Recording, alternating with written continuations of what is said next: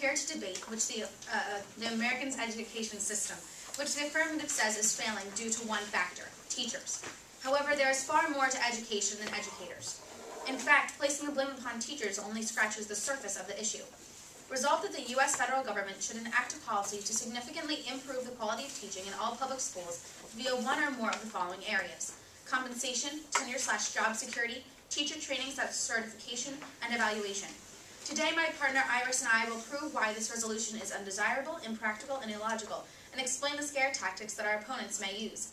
The Merriam-Webster Dictionary defines significantly as having or likely to have influence or effect. Applied to the resolution, this means that the proposed plan of the affirmative would drastically alter the current system of education, departing from all components of the current system, including the standing policies which are, in fact, effective. The affirmative has, has attacked the teacher certification process, describing it to be too lenient to produce competent teachers. According to the Certification Map website the University of South Carolina, all teachers in the U.S. are required to attain a bachelor's degree from a post-secondary institution. In Pennsylvania, there are over 90 different teacher preparation programs in which teacher in training uh, course, teachers in training take courses in foundational knowledge and skills and pedagogy, the art of teaching. According to the University of South Carolina, one must satisfactorily complete ba the basic skill test requirement and the subject area competence exam assessments of, this, uh, of, excuse me, of the subject area they would like to teach in. Finally, the teacher is granted a certificate from his or her state's Department of Education and may begin searching for employment in schools.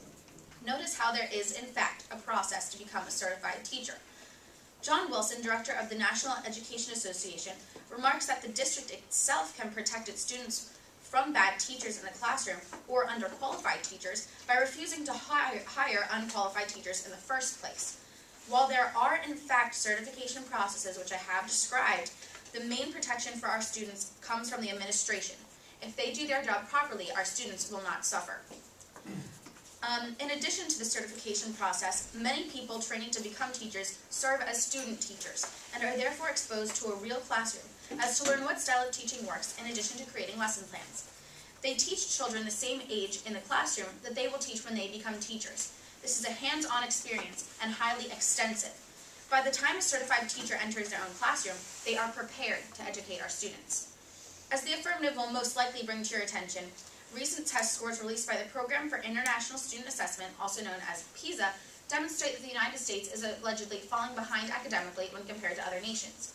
Our opponents will stress that the U.S. is ranked far behind countries such as South Korea and China, and exaggerate the atrocities of such scores. Let's get past all of the propaganda. Here are the facts. According to the 2009 PISA test scores, the U.S. ranked 17th in science, 25th on math, while also ranked 8th out of 34 countries in the reading achievement of highest performing students. If we are to be frank, they are not the highest achieving scores. However, they are far from the dangerous results that our opponents will make them seem.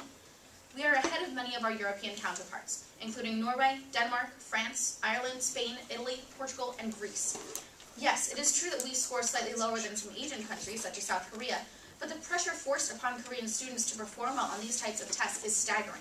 According to Lenska Pavic of the popular online news source, news source, The Casual Truth, quote, the pressure placed on Korean students is so immense that exam season is known as suicide season.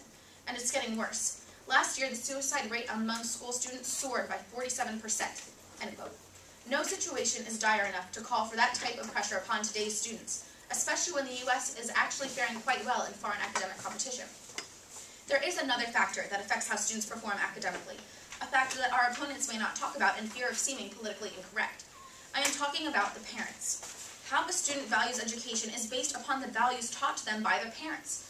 If a child is told from a young age education is important, that homework and studying are tasks that require diligence, and respect towards teachers is expected, that child will grow to be a productive student. A 2010 study conducted by the researchers at the University of Leicester, which was published in MIT's Review of Economics and Statistics, found that, quote, children work harder whose parents put more effort into their education. Also included in the report is a quote from researcher Professor DeFraja, which says, quote, the researchers found that parents' effort is more important for a child's educational attainment than the school's effort.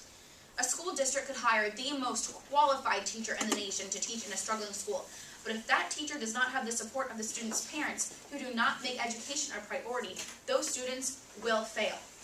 In conclusion, conclusion, our current education system is not on the brink of total collapse. And as I have proven, there is no immediate cause to overhaul an entire system of teacher preparation due to a set of test scores which are being exaggerated by the proponents of the resolution. Is the current system perfect? No. Iris and I are not trying to beguile you into believing that we find absolutely no fault in the United States current system of education. But the fault is not solely on the teachers.